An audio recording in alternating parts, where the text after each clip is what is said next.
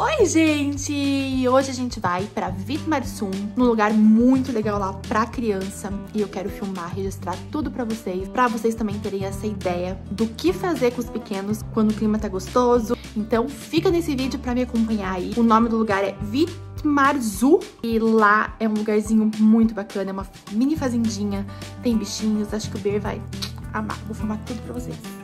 Saímos com destino à colônia Vitmarsum, com destino a dois lugares maravilhosos, a Vitmarzu, que é essa mini fazenda, e a Ponyland, que também é uma mini fazenda e a gente já havia conhecido anteriormente. Um fica bem pertinho do outro e vale a pena visitar os dois no mesmo dia. De Curitiba a Vitmarzu dá em torno de 60 quilômetros, 45 minutinhos da cidade. E é um passeio delicioso para se fazer no final de semana. Nós não fizemos reserva, mas no domingo que fomos estava bem tranquilo o movimento.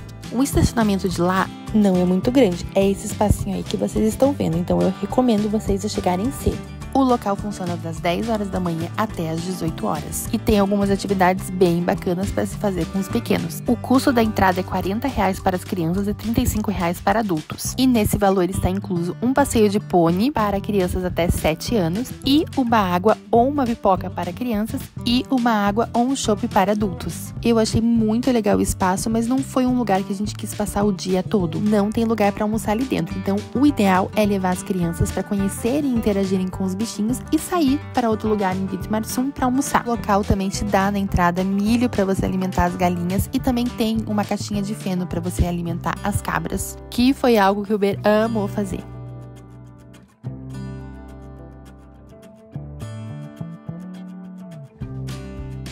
O local também tem coelhinhos que você consegue pegá-los no colo e ficar fazendo carinho. E é muito legal a experiência, porque a gaiola fica aberta e eles não saem dali. Na hora do passeio do pônei, o Ber não quis ir, ele quis ficar só de longe mesmo observando o cavalinho. Sabe, numa próxima ele experimente.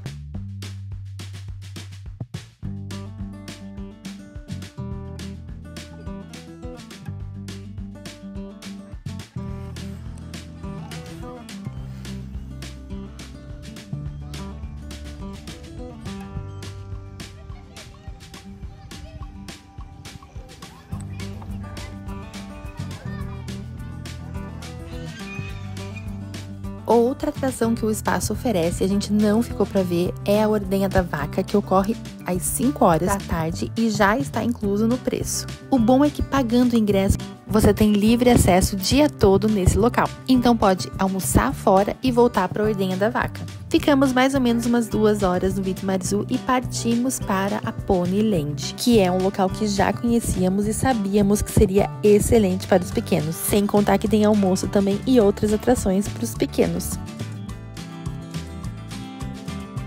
A Ponyland é um restaurante e pousada também, então você pode se hospedar nesse local. A entrada é 10 reais por pessoa e caso você opte em almoçar é buffet livre, R$ 49,90 por pessoa e crianças até 6 anos não pagam. As atrações no geral são pagas e variam entre 15 e 35 reais. Mas também tem atrações gratuitas e é um espaço para você relaxar.